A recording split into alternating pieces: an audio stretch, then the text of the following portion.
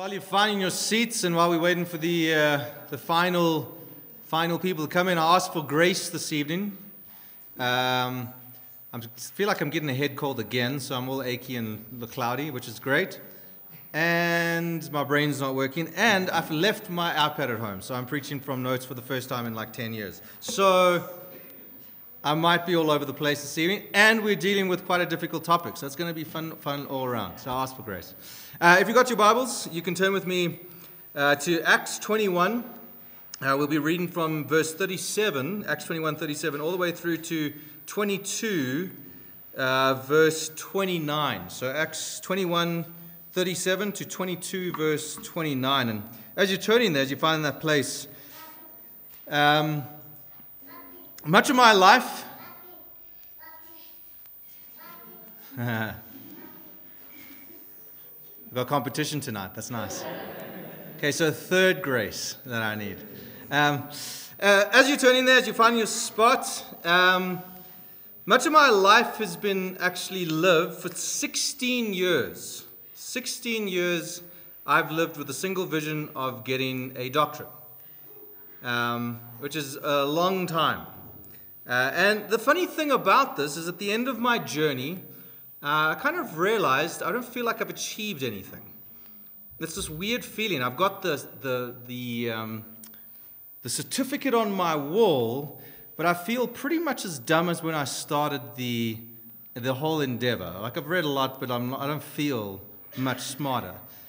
And this is a weird thing about credentials. It's like they kind of don't solidify who you are. You know, it doesn't actually prove anything. Yet, we have something different. In the Bible, there are credentials that actually do prove something, and one of them is the uh, credential of a prophet. Something I've just stumbled on recently, and it's actually fascinating. Is every single one of the prophets was spokesmen of God, not because they decided to be one day, but because they had an encounter with the living God. In a sense, they got to peek behind the spiritual walls into the divine control room of the universe and listen to what's going on.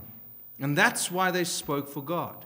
And what we'll see tonight, if we're reading with first century eyes, not 21st century eyes, is how Paul nails all the credentials for what he needs to do in the world. So, with that in mind, let's read Acts 21 We'll read from verse 37 all the way down to 22, verse 29. This is God's word, so let's hear it tonight. As the soldiers were about to take Paul into the barracks, he asked the commander, May I say something to you? Do you speak Greek? He replied. Aren't you the Egyptian who started the revolt and led 4,000 terrorists into the wilderness some time ago? Paul answered, I am a Jew from Tarsus in Cilicia, a citizen of no ordinary city. Let me please speak to the people. After receiving the commander's permission, Paul stood up in the steps and mentioned to the crowd, and they went silent when he said to them in Aramaic, Brothers and fathers, listen to my defense. When they heard him speak in Aramaic, they went very quiet. And then Paul said, I am a Jew born in Tarsus of Cilicia, but I was brought up in this city. I, I studied under Gamaliel and was thoroughly trained in the law of our ancestors. I was just as jealous for God as any of you are today. I persecuted the followers of the way to their death, arresting both men and women, throwing them into prison. As the high priest and all the councils can testify themselves. I even obtained letters from their associates in Damascus and went there to bring these people as prisoners to Jerusalem to be punished. About noon, I came near Damascus. Suddenly, a bright light from heaven flashed around me. I fell to the ground and I heard a voice say to me, Saul, Saul, why do you persecute me? Who are you, Lord? I asked. I am Jesus of Nazareth, whom you are persecuting, he replied. My, my, my, companions saw the light, but they, they did not understand the voice of him who was speaking to me. What shall I do, Lord? He, I asked. Get up, the Lord said, and go to Damascus. There you'll be told what you have been assigned to do. My companions led me by the hand into Damascus because the brilliance of the light had blinded me. A man named Ananias came to me there, uh, came to, to see me. He was a devout observer of the law and highly respected by all the Jews living there. He stood beside me and said, Brother Saul, receive your sight. And at that very moment, I was able to see him. And then he said, The God of our ancestors has chosen you to know his will and to see the righteous one and to hear the words, sorry, hear words from his mouth. You will be his witness to all people of what you have seen and heard. And now what you are waiting for. Sorry, what are you waiting for? Get up, be baptized, and wash your sins away, calling on his name. When I returned to Jerusalem, I was praying in the temple, and I fell into a trance. I saw the Lord speaking to me. Quick, he said, leave Jerusalem immediately, because the, the people here will not accept your testimony about me. Lord, I replied, these people know that I went from one synagogue to another to imprison and beat those who believe in you. When the blood of your martyr Stephen was shed, I stood there giving my approval and guarding the clothes of those who were killing him. The Lord said to me, Go, I will send you far away to the Gentiles. The crowd listening to Paul until he said this, then they raised their voice and shouted, Rid the earth of him, he is not fit to live. As they're shouting and throwing of their cloaks and flinging of dust into the air, the commander ordered that Paul be taken into the barracks. He directed that he be flogged and interrogated in order to find out why these people were shouting at him like this. As they stretched him out to flog him, Paul said to the centurion standing there, Is it legal for you to flog a Roman citizen who hasn't been found guilty? When the centurion heard this, he went to the commander and reported it. What are you going to do? He asked. This man is a Roman citizen. The commander went to Paul and asked, Tell me, are you a Roman citizen? Yes, I am, he answered. Then the commander said, I had to pay a lot of money for my citizenship, but I was born a citizen, Paul replied. Those who were about to interrogate him withdrew immediately, and the commander himself was alarmed when he realized that he had put Paul, a Roman citizen, in chains. Now, I read that final part because that's going to link us perfectly to what happens next, Paul's trial and such. But let's jump into this weird testimony. Like we read this testimony, and most of us feel, I'm going to throw this out there, don't judge yourself, slightly bored reading through this because you've just read through it in the beginning of Acts, right? It's like a recap. And you kind of think, okay, Bible, we've gone through this before. What's up with the recap? And that's because you're reading it like a 21st century person. You are not picking up all the profound cues that kept that entire audience in deathly science, silence until he said the word Gentiles. And so, what is going on here? Well, throughout this testimony, what does Paul communicate? He says, I've seen God. He said, I've seen God. This is profound. This is not something that someone says. This is a profound thing. And for us to unpack this, he actually says at first that he's seen Christ, and he lines that up with God, but then he actually says later that he's seen God. And this is Paul's credential for being a prophet. So to unpack this, let's start with the second part, which is the vision of God. From verse 17 to 21, Paul says he went into the temple and had a trance. Now, a lot of scholars have picked up this, and there's massive debate about this. Uh, because there's another passage in 2 Corinthians 12, verse 19, where Paul might be recounting this trance. Now let's read this together. He says, I must go on boasting. This is Paul's letter, his credentials again to the Corinthian church. Although nothing's to be gained, I will go on to visions and revelations from the Lord.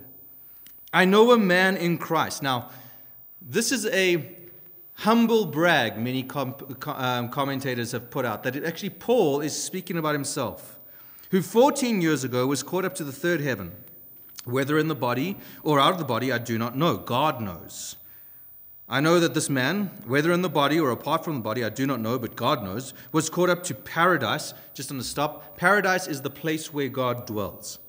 And heard inexpressible things, things that no one is permitted to tell. I will boast about a man like that. But I will not boast about myself, except about my weakness.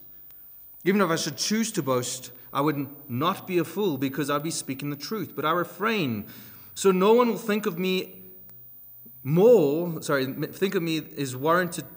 I am so lost in where I'm saying this. So, so no one will think more of me than is warranted, thank you, by what I say or, or do.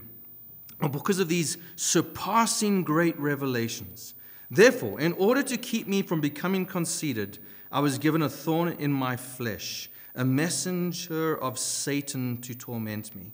Three times I pleaded to the Lord to take it away from me. But, I, but he said to me, My grace is sufficient for you.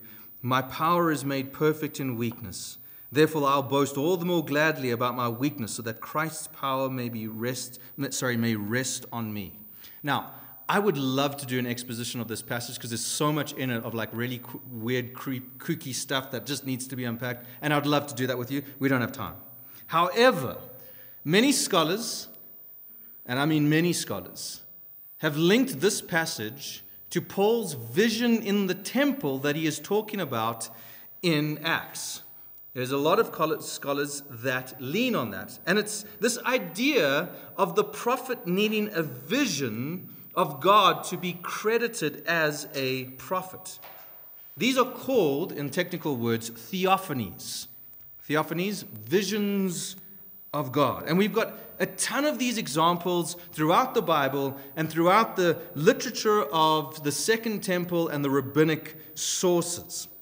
In fact, the grouping of these visions are called a heklat. Literally, a temple vision, or a Merkava mysticism is the other word for it. And you can actually pick up some of these uh, on academic sites if you really want to dive into this.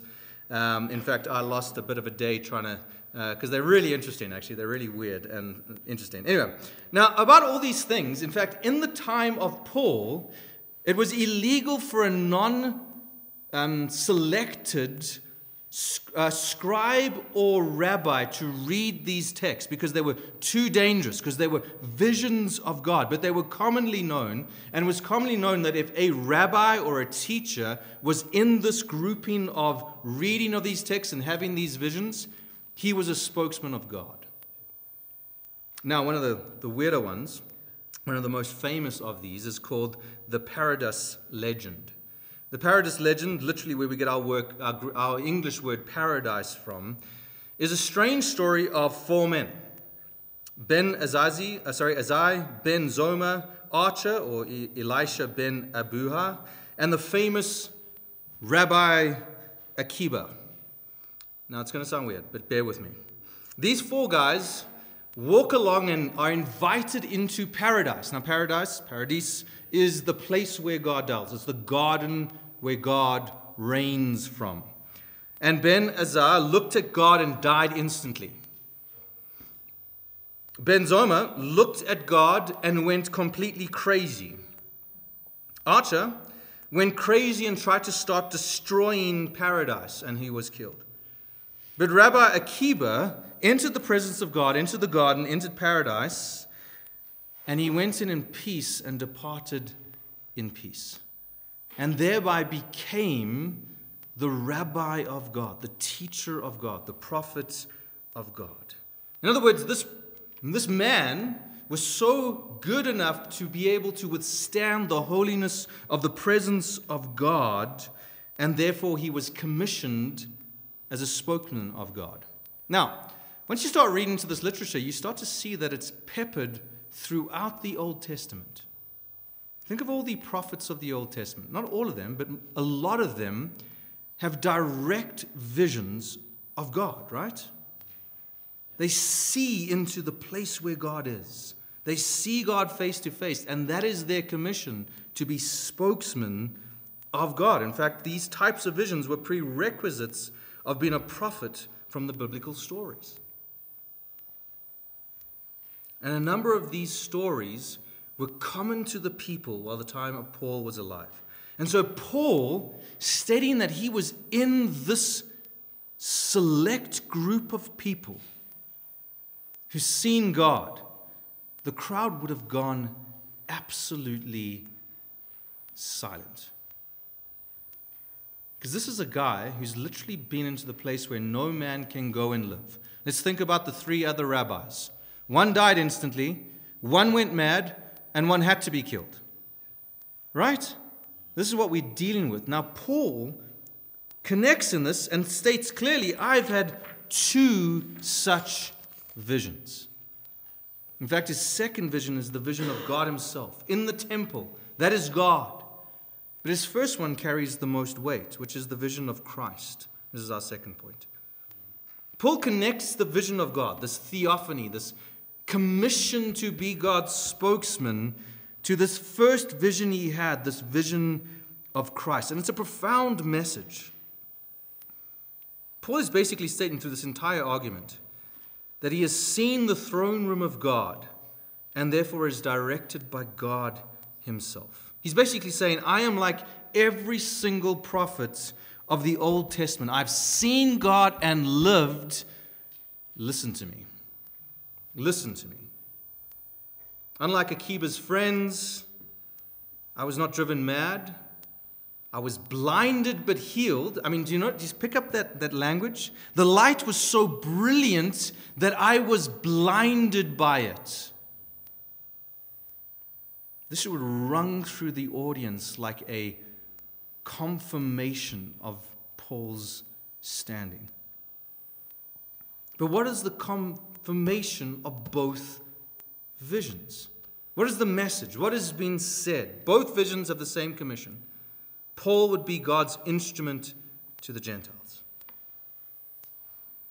See how powerful that testimony is? Paul is standing there in front of a group of people that try to kill him, speaking in their own language because he's them. He speaks their, their language. And he says, in their own worldview, I am a prophet among your people commissioned like every other prophet in the Old Testament. I've seen God. Listen to me. I need to go preach to the Gentiles. Church, what was Paul been arrested for? What was the crisis? What was the issue that everyone was up in roar about? That Paul was too friendly with the Gentiles. Now, this leads us to something very very interesting for us today. Paul's commission by God, this prophet of God, has one mission for the world. And I want to say it's you. It includes you. So, this is a vision of salvation for the whole world. This is the miracle of this. And in fact, this is what causes the crowd's response. It's a massive statement that Paul's saying. We, we, don't, we don't pick it up because we live as Gentiles. 2,000 years of Gentiles being saved. So you're like, Barry, this is cool, you know, history, nice lesson. But we miss the massive shift of this. Paul is making a bold claim that he has had privy to the control center of the universe. He has seen God, and God Himself has told Paul to go to the Gentiles. God Himself has said that the Gentiles are, are part of God's plan.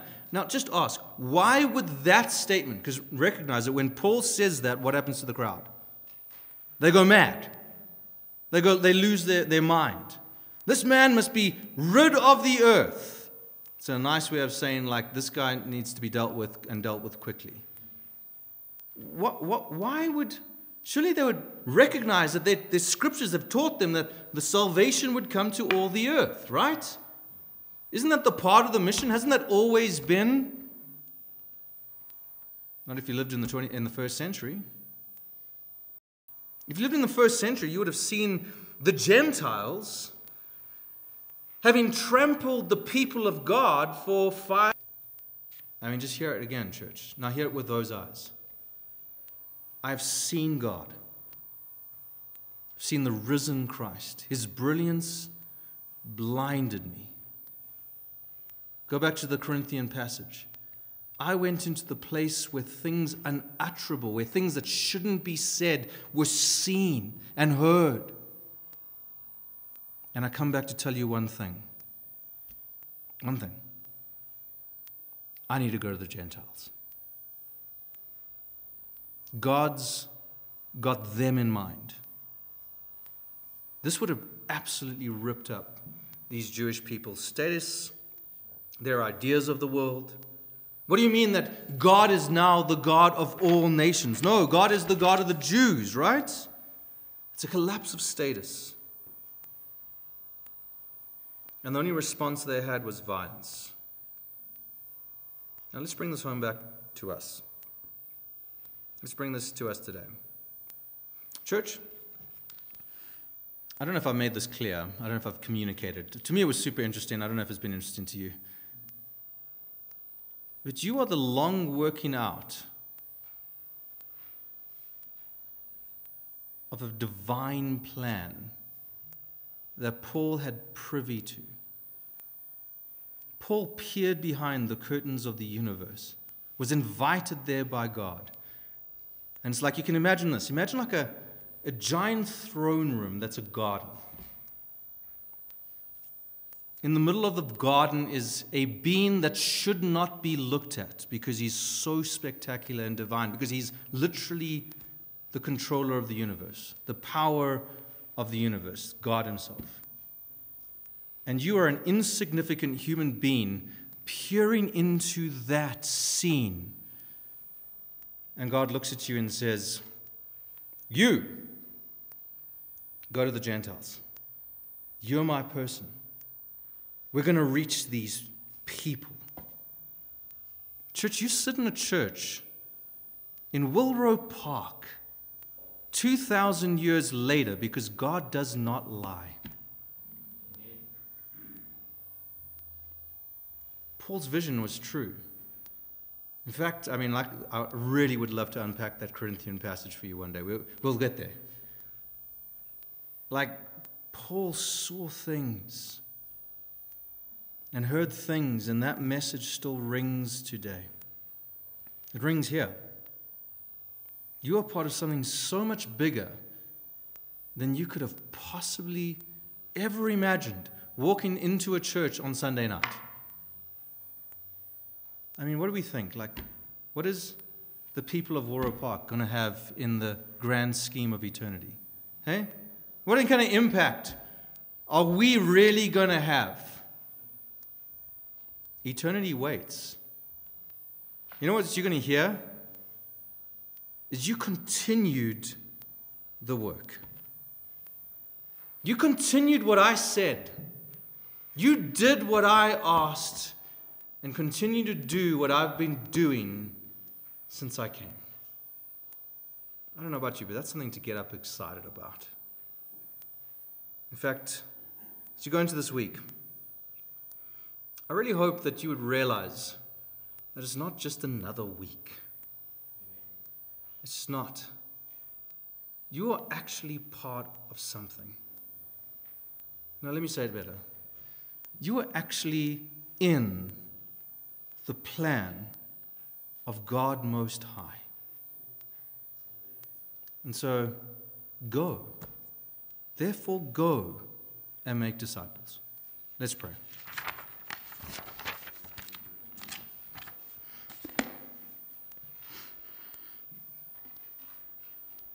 Lord, as we, as we sit in the wonder of this commission, I guess the only response we can have is, uh, Who am I? That we're not commissioned by our own strength, we're not even carrying our own mes- message. We're made strong by your Spirit, we're filled with your wisdom, and the message that we have is your good news. So, Lord, may we go. May we, may we go and make disciples of all nations, teaching them everything that you've taught us, baptizing them in the name of the Father, and the Son, and the Holy Spirit. And Lord, thank you that you've promised that you will be with us even to the end of the age. We pray this for the glory of the Father, and in Jesus' name. Amen. Won't you stand and sing our closing song?